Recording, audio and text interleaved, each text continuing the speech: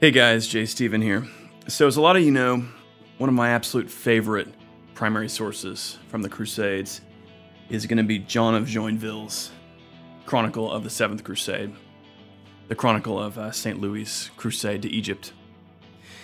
This is probably one of the most intimate and um, personal accounts we have in our various Crusades chronicles that are available to us. So I wanted to read a couple of passages here concerning the Knights Templar, as described by uh, John of Joinville. Now, these two incidents take place after St. Louis and his army conquer the coastal Egyptian city of Damietta, but before they are defeated at the crucial Battle of Al Mansura. So these are operations on the Nile. These are, this is the point at which uh, Louis and his army begin to advance up the Nile in an attempt to conquer Cairo. This is between November 1249 and February of 1250. So here's our first passage. On St. Nicholas's Day, the king ordered us to make ready to ride forward while at the same time forbidding anyone to be so bold as to attack the enemy around us. It happened, however, that when the army began to move forward, and the Turks realized that no attack on them was contemplated, for their spies had told them that the king had forbidden it, they grew bolder and flung themselves on the Templars, who formed the van. One of the Turks bore a Knight Templar to the ground, right in front of the hoofs of the horse on which Brother Renaud de Vichiers at that time Marshal of the Temple, was mounted. On seeing this, the Marshal cried to his brother Templars, For God's sake, let's get at them. I can't stand it any longer. He struck his spurs into his horse, and all the army followed. Now our men's horses were fresh, and those of the Turks already weary. And so, as I have heard, not one of the enemy escaped, but all perished.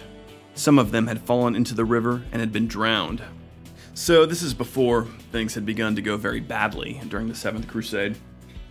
And, you know, we can see here the familiar Frankish tactic of the defensive march. So, the advance forward while keeping the army closely arranged so that you can successfully defend against an attack from skirmishers, or you can ward off the effects of skirmishers, that is, uh, you know, local Turks uh, or ambush units sent off from the Egyptian army to to harass the uh, the French column.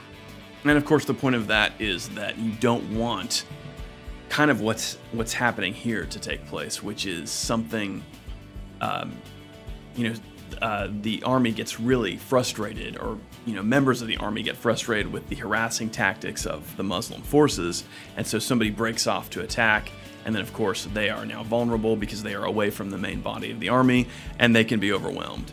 But in this case, I think what we're looking at is an example of the Templars uh, initiating an attack at the right moment. I know uh, the way John of Joinville describes this is uh, that uh, the marshal couldn't stand it any longer. Um, he was so annoyed with uh, the fact that uh, one of his brothers had been killed right there in front of him that he said, okay, that's it, let's just take him out. What we have here is the Templars uh, actually do make an attack finally, and it's fairly successful. It looks like they're able to drive off the Turks and uh, and slay a lot of them. So, so yeah, uh, just sort of a minor incident in the in the Seventh Crusade. Um, and you know, once again, this is before things went really, really badly. And as we know, uh, the Seventh Crusade turned out quite badly for the Christians.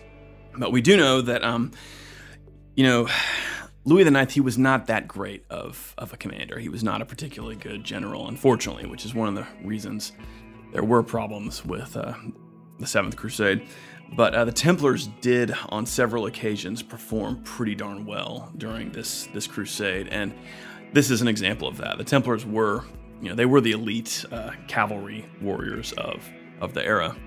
Okay, our next example here is going to be somewhat different. This is going to be the Templars and how they could act as a defensive uh, uh, unit or to kind of help with a, a tactical withdrawal. So let's take a look at this. So this is John of Joinville again talking. This is him talking about a something he personally experienced. On Christmas Day, I and my knights were dining with Pierre de Avallon. While we were at the table, Saracens came spurring hotly up to our camp and killed several poor fellows who had gone for a stroll in the fields. We all went off to arm ourselves, but quick as we were, we did not return in time to rejoin our host, for he was already outside the camp and had gone to fight the Saracens. We spurred after him and rescued him from the enemy, who had thrown him to the ground. Then we brought him back to camp with his brother, the Lord Duval. The Templars, who had come upon hearing the alarm, covered our retreat well and valiantly. The Turks came after us, harassing us right up to the camp. In consequence of this, the king gave orders for the camp to be enclosed on the Damietta side, from the stream of Damietta to the stream of Rosetta. Okay, so an interesting passage again. This is kind of the typical sort of minor skirmish and encounter that could happen throughout the course of a campaign like this. So, this is not a major battle or anything. Um, just kind of like our last example, except our last example involved uh, the army on the march. At this point, we're talking about the army is encamped. And in fact, Jean is talking about how he and his knights are actually dining at this point with another uh, knight, this Pierre de Avallon. And uh, there's an ambush in their little portion of the camp. Some Saracens spot a couple guys who are out taking a walk or something, and they attack them. And so uh, uh, Jean and his knights and you know small group of knights go out to meet this attack. Now notice here what happens is the Templars who are in the camp they hear about this going on. So somebody sounds the alarm, says, "Hey, there's something going on in this part of the camp." The Templars go out to act as to kind of uh, take care of the situation or uh, minimize the damage, uh, do what they can to protect uh, their fellow Crusaders.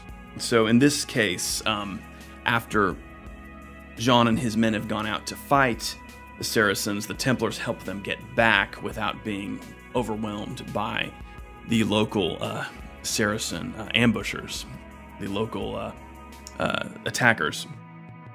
And again, you know, in a case like this, um, as Louis' army is making its way down the river, and they stop to camp at different times, there's going to be different units of Turks and Saracens out harassing them, uh, looking for you know weak spots, you know whether the, the army's encamped or on the move, um, you know scouts in some cases or actual contingents uh, from from the Egyptian army out uh, on some sort of mission to um, to take to weaken the Christians. So. So interesting here. Uh, the Templars, you know, they were again, they were kind of the elite unit, and they did uh, act in this way frequently to, um, you know, to salvage a situation, to uh, act as, as, protectors, as guardians. So, interesting stuff. I really recommend Jean of Joinville. Uh, you can get a uh, translation of his uh, amazing chronicle of, of St. Louis' Crusade, of the Seventh Crusade. Um, Penguin Classics has it has it available. It's, it's one of the almost the go-to sources for uh, Crusades Chronicles that, you know, when people kind of first get interested in the Crusades and they want to get some primary sources, this is one that's likely to end up in their hands. But uh, Penguin Classics has it paired with uh, Villehardouin's Chronicle of the Fourth Crusade, so uh, it's something to look for on Amazon. Hope everybody's doing well. I'll talk to you soon.